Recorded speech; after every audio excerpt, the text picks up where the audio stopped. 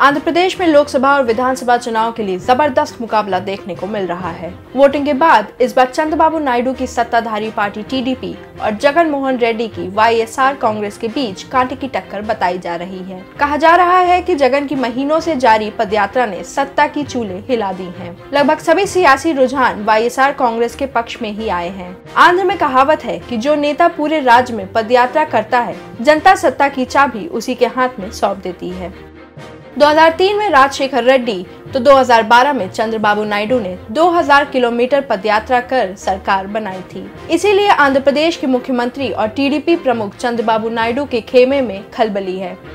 नायडू प्रभावशाली कम्मा जाति से आते हैं लेकिन कम्मा राज्य की आबादी में महज तीन प्रतिशत ही हैं, जबकि जगन मोहन रेड्डी की जाति के लोग राज्य में लगभग नौ फ़ीसदी है। इन्हीं दोनों जातियों का राज्य में ज़मीन से लेकर व्यापार मंदिरों के प्रबंधन और मीडिया संस्थान तक में वर्चस्व है। हालाँकि राज्य में 16 प्रतिशत दलित 23 प्रतिशत पिछड़े 9 प्रतिशत मुस्लिम और 27 प्रतिशत कापू वोटर हैं और यही दरअसल राजनीति की दिशा तय करते हैं। यही वजह है कि यहाँ कापू फाइनेंस कॉरपोरेशन है ब्राह्मण फाइनेंस कॉरपोरेशन है, अल्पसंख्यकों व पिछड़ा वर्गों के लिए भी अलग वित्त निगम है।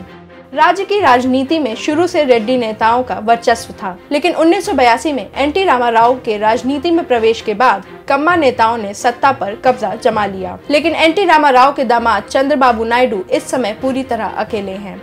उनके खिलाफ वाईएसआर कांग्रेस के साथ साथ सुपरस्टार पवन कल्याण की जनसेना पार्टी भी है। पवन कल्याण की पार्टी अधिकतर उत्तरी आंध्र में मज़बूत है, जबकि जगन मोहन की पार्टी दक्षिण आंध्र में। वहीं पड़ोसी राज्य तेलंगाना के मुख्यमंत्री केसीआर ने हाल ही में कहा था कि चुनाव के बाद उनकी और जगन मोहन की भूमिका राष्ट्रीय राजनीति में बहुत महत्वपूर्ण होने वाली है। राजनीतिक विश्लेषक मानते हैं कि वे दोनों भाजपा का दामन थाम सकते हैं। 2010 में पिता राजशेखर रेड्डी की मृत्यु के बाद जगन ने लगातार राजनीतिक संघर्ष किया है और अब वे कोई भी मौका हाथ से जाने नहीं देना चाहते।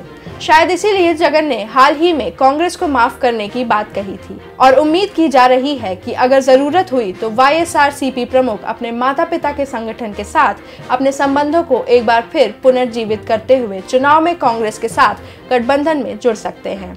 इसलिए जगन ने बीजेपी और कांग्रेस के रूप में अपने दोनों मोहरों को खोल रखा है।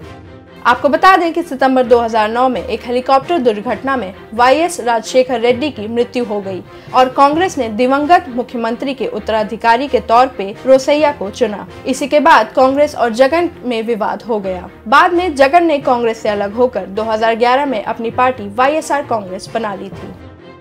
हमारी वीडियोस को देखने के बाद लाइक और सब्सक्राइब करना बिल्कुल ना भूलें।